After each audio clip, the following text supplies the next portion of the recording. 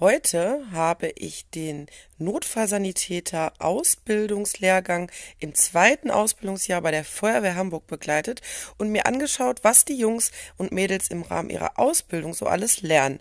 Das war total interessant und danach habe ich noch den Lukas getroffen und unser Interview, warum er Notfallsanitäter werden will, seht ihr jetzt. Go. Hallo ihr Lieben, ich sitze auf dem Divi vor einem RTW der Feuerwehr Hamburg und habe neben mir den Lukas.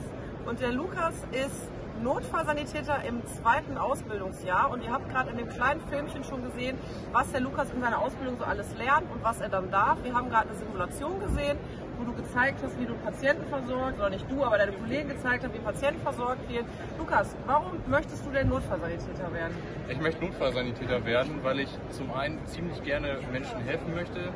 Mir ist die Abwechslung im Beruf ziemlich wichtig. Also ich möchte keinen Job haben, wo ich morgens zur Arbeit komme und schon weiß, wie der Job ablaufen wird. Es sollte abwechslungsreich sein und das bietet der Rettungsdienst auf jeden Fall.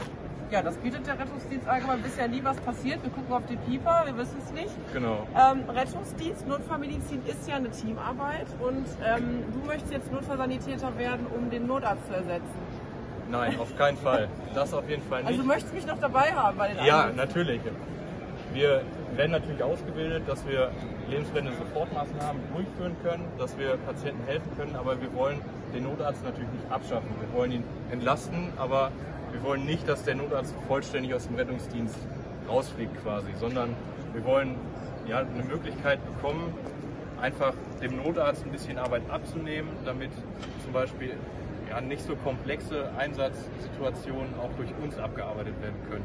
Das heißt, lebensbedrohliche Notfälle komme ich weiterhin und Docaro kommt ja immer ein bisschen später und bis Docaro an der Einsatzstelle ist, ist der Lukas da. Und Lukas, dann freue ich mich, vielleicht sehen wir uns ja mal an der Einsatzstelle. Ja, Vielen Dank sicherlich. an Feuerwehr Hamburg und wenn ihr Fragen habt, schreibt mir einfach. Bis zum nächsten Mal.